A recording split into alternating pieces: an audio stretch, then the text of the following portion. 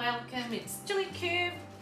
I'm here in Queensland, Australia, coming to you with the pour over a um, previously poured glass vase.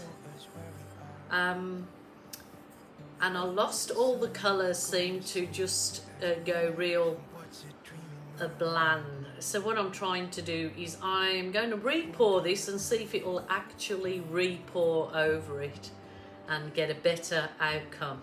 So I have got some uh, ready-made pouring paints and I'm going to do them in those colours and I've got a cup which I use to place this one over the top so when it comes to time to remove my cup it's easy enough to move. I've also got a canvas underneath that I'm going to let the runoff go onto the canvas so I can create a whole different art piece from this. And I've got it on my spinner which I've got a shower cap over my spinner which keeps it clean. So tricks of the trade tricks of the trade so I'm going to put that well actually I'll put that aside first because I'd like to fill my cup up with my paints first of all. So so I am going to use this like I said they're pre-made pouring paints so a no-brainer easy easy. Um, there's a link for them underneath in my Amazon store.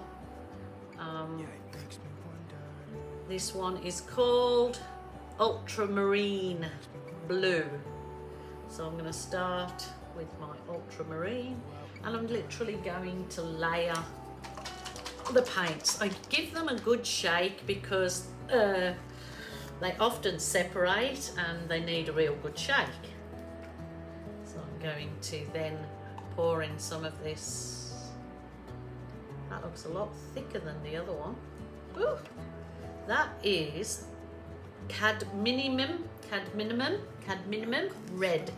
Just going to pour a bit more of this ziggy zaggy on there. And I'm going to go to my, one of my favourites is this particular gold. It's a really lovely metallic gold, but it's really super, um, oh, I think I've got one open and I'm trying to use the one that I haven't got open. No, it isn't. I haven't opened that one either. Silly sausage. Oh my goodness.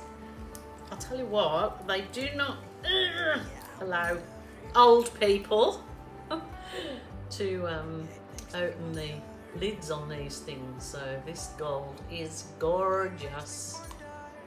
So put plenty of that in. Go back to the red. I think I'm just about out of this particular one. I'll probably put a little bit of water in there and stretch it out a bit more again. I'm going to go back to the ultramarine blue.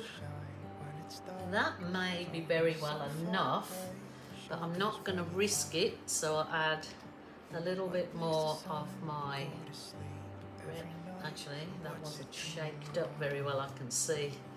Like I said, they really do need a good shaking up. Uh,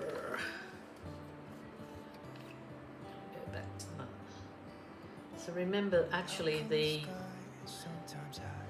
last one you pour in will be the first one out. So I'm just thinking now I'm going to end up with all that blue, aren't I? Because I, um,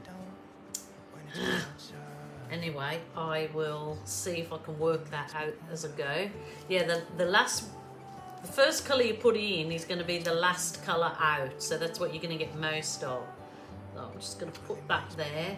If I need to alter it along the way, I will. I'm thinking that maybe I just pour some red over it now. Let's give it a go. Just on its own. If I pour some red over, just to give me a little bit of a base coat over that colour that's already there. So that's gonna just come down nice and slowly. Now I'll do my little cut pour and I'll do it in a like spiral motion I guess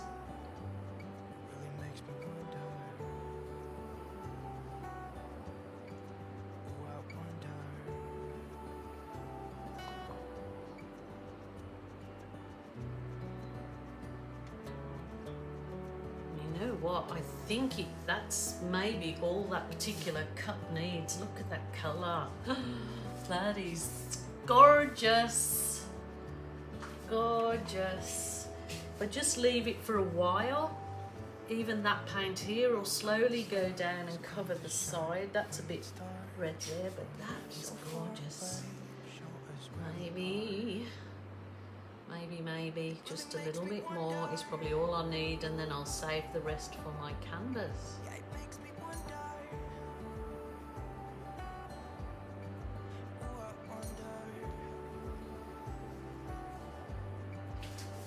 Wow, wow, wow, wow, wow.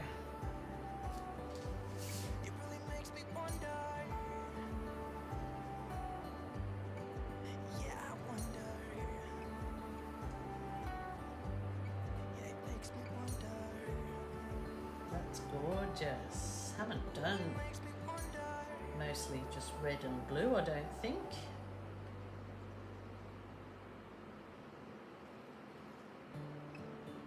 Is slowly working its way down there now.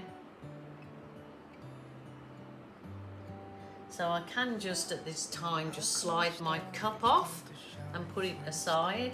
But I'm just going to leave that on there now for a good 10 minutes to allow the paint to cover completely, which it nearly has, that whole um,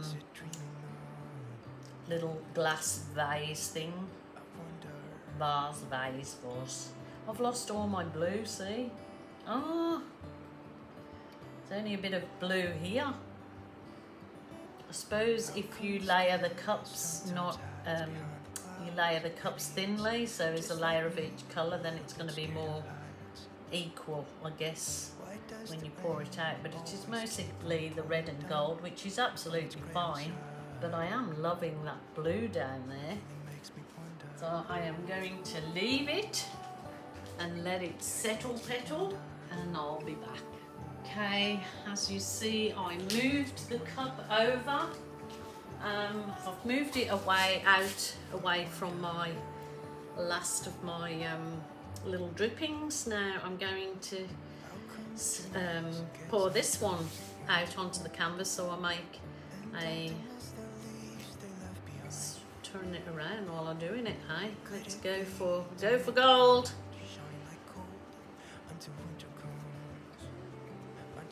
This is quite thick paint, it, or the red in it was.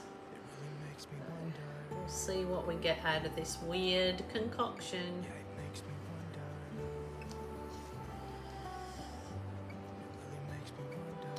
I've got a little idea. I was, um, I had some of these supercell pouring paints that's, you know, make cells and so I was thinking of this was just the pouring paint. I'm going to see if I add some of this supercell over the top whether uh, what kind of look it will give me. So I'm going to just poke out the uh, I want to actually use the what do you call it? The actual spout to be my little um, like a pen and I'm going to give it a figure eight. Invigorate, invigorate. It's not coming a very figure eighty. It's here, there and everywhere. Radio, I'm going to give it a tilt now and um, I just thought putting that black in will give a little bit of point of difference. Let's tilted. Oh, these colours are super gorgeous. Super gorgeous. The ultramarine blue is looking very purplish now there. And you again could be tilting this onto another canvas to continue. Oh, I can see all the little cells are popping up in that black. Well, there you go. I think somebody suggested on one of my videos where I use this supercell, have you just tried it as a, as a cell um, accelerator, meaning, you know, creating cells over normal paint. So this is not their supercell paint underneath, just that black, but it is making all the colours. Um, it's it popping little champagne cells and I will be able to show you when I come down closer. But seeing how thick this paint is, look how slowly it's moving. But you know, it's a real easy peasy one because you haven't got to mix paints or anything. I've got a bit of a blob in there I need to, I should have got rid of that. And I should have done this black a little bit uh, finer line, so you live and learn. But it is popping through all these colours, so that's quite nice. Let's help it get down here a bit quicker. Now I've got to kind of tilt it back to recenter it. it down. Wow, look at those colours. All popping through there. Let me see what it comes up like with a bit of um, heat on it. But it would have been nice if it was finer, I guess. Oh no, look at that. Wow. Look at the cells. I'm not sure if you're seeing it.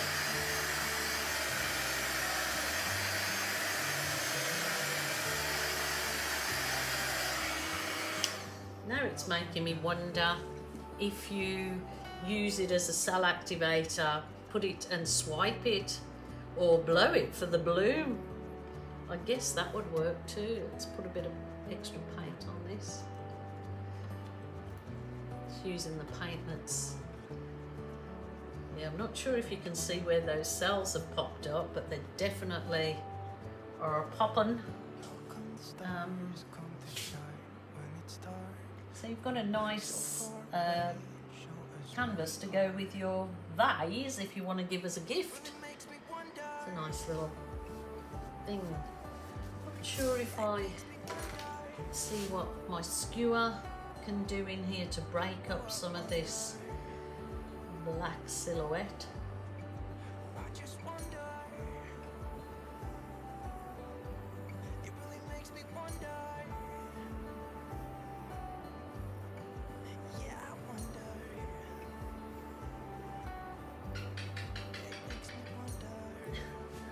Wow, I actually really like that. That's gorgeous, gorgeous, gorgeous. I'm going to bring you down, have a close up. It looks very cosmic. It certainly does. You see all of those lovely little colourful champagne cells in that black. So there you go, it actually does work as a cell activator. Um, so I guess you could definitely use it as a swipe. But I haven't tried, so I will give that a go. Absolutely happy that I did my swirls through it now because oh, I'm getting a glare come back. But it is a lovely little canvas and it's going to be super cute, super cute and shiny because it's got such a mm, the metallic colours in it. It's gorgeous, love it. And this is my glass vase. So I will just leave it there today now and tomorrow morning it'll be dry enough for me to, you just squeeze that plastic cup at the bottom, you just squeeze it and lift the vase straight off it. So that's much better colours at the moment. I mean, I'm very disappointed I lost all the blue and I could pour over it again, but I'm not going to. Um, got a bit of blue there, that's about it. But it doesn't matter, it still looks lovely and I do know someone that's got red decor that loves anything red. So I already have in mind of gifting that. Um, but look at that, definitely looks cosmic. Looks awesome. Figure eight, invigorate. There you go. So I will definitely put the dry photos of my vase on the end, you will see it. So I just want to thank you guys so much for joining me again in my crazy art journey. my husband John is doing well. He goes for more tests um, soon, so hopefully there's no bad news. Pretty sure there's not going to be. It's going to be fine. All right, my lovelies, thank you for all your lovely, lovely messages you've been sending me. So appreciate your sticky viewers, the ones that stick with me and keep viewing my content and always writing comments to me. I read every one of them, trust me. I don't always get to answer them all back because there's literally thousands, but I do read them. So thank you, my lovelies. Until tomorrow, bye for now.